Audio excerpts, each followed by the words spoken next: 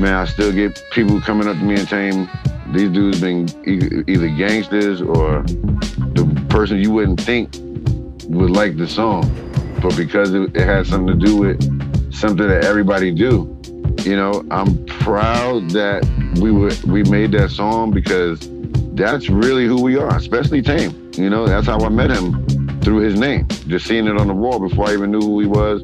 We got together because we knew the same people. So when I see his tag all in my man's room, I say, "Oh, where he be here?" He said, "Yeah, he rap too." I'm like, "Really?"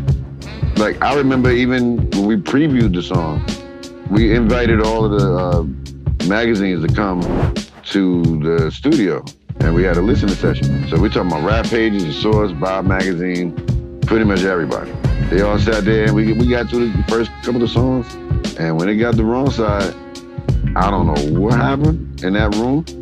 Everybody looked at each other, and my man, somebody in the room was like, "Yo, play it again."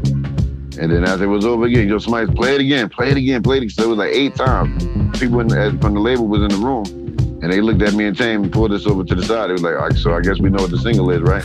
I was like, yeah. This song just happened to be about something that everybody was doing, that everybody liked, and we happened to be the dudes doing it.